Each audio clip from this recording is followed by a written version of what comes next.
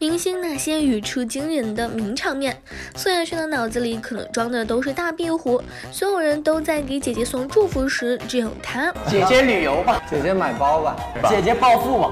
你在看？你在说我吗？姐姐醒醒吧，醒醒吧，醒醒吧！跟队友们一起接受采访时，小宋居然来了波危险发言。这环节真的是我喜欢今年的我的就是，就是明年让你做。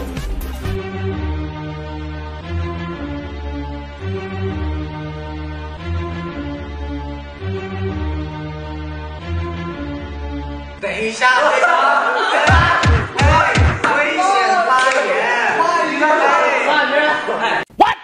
如果他还是喜欢这部电影的话，我可以陪他再看一次。我我会把外套脱了盖，我会把他抱着。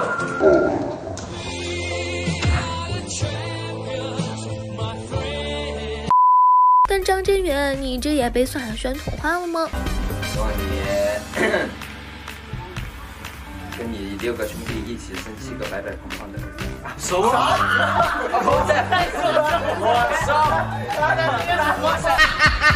马嘉祺说：“我的教育到底哪里出了问题？为什么要学习武术和读书呢？”吴京这波是顶级理解。我会武术啊，是为了能让傻叉心平气和的跟我说话；我读书呢，是为了能够和傻叉心平气和的说。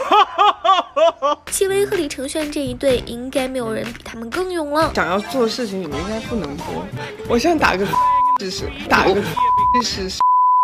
两件事情。晚上的时间，我们会在厕所的时间很多。宝宝在房间睡也怕吵到他，所以我们放了椅子在厕所，就是为了坐在那儿玩。